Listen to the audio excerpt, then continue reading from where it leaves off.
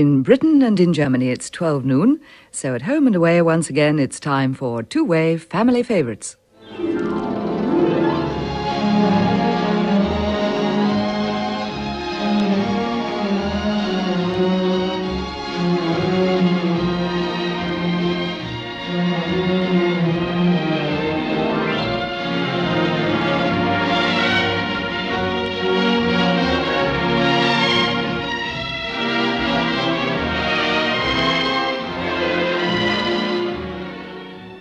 The voice of Jean Metcalfe introducing today's family favourites.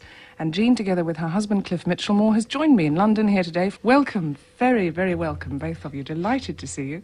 Must be a bit like coming home, Jean. But it's lovely to meet you after all those years, because you used to be in Malta, didn't you? Yes, many Mm, years We used to talk to each other.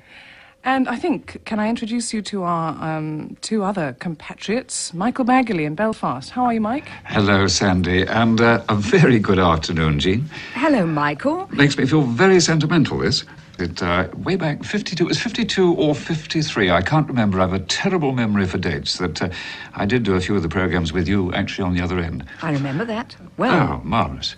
And I don't think you need any introduction to Cliff, do you, Michael, since you worked together? No, we didn't actually work together. I think I arrived, I didn't arrive until 50. I think it wasn't Cliff had just, just I was disappeared. just, I was just going at the time. Ah. There wasn't room for both of us there, I worked out. Thank you. However, Cliff, you have met, I know, Andrew Pastuna in Cologne. yes, he once came and interviewed me. That's that right. I was just saying I can always smell the roast beef and Yorkshire pudding. How about it? Andrew, you've not yet met Jean.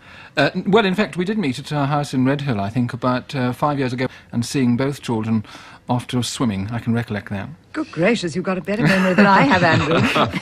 we hope both children are getting their lunch at this moment now. They're not children anymore. No, they're not. Now then, it's going to be a bit crowded, all five of us here together. Um, Andrew and Michael, I'm sure you won't mind if we take the first record here. And Jean, how about you starting us?